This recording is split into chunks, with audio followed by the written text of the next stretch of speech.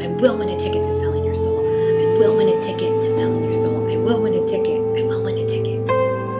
Marie, Danielle, I am so excited about your event and business, Three Boudoir, a photography business for women focused on an experience that empowers them, makes them feel more confident, and gets them excited. After leaving their Three Boudoir shoots, women feel. I want to help women feel And I'm currently in the process of building ambermccue.com, which will serve as the launching pad for my coaching business, which will tie to Three Boudoir. Three Boudoir, you get that confidence when you leave. Uh, you carry that with you for some time. People see it, people notice it, and you feel this energy for change in your life.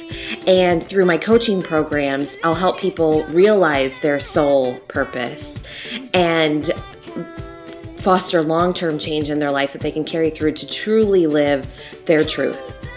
Biggest entrepreneurial victory was sort of when that light switched in my head and I knew I was going to make it happen.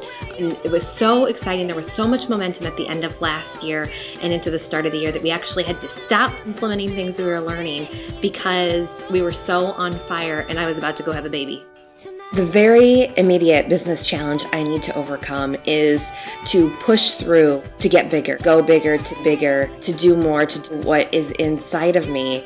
After I rock past this challenge, my spine tingling dream is to be a part of a revolution, to be a part of prompting and fostering change in women that has a ripple effect. I can't wait to see you all at Selling Your Soul in New York City.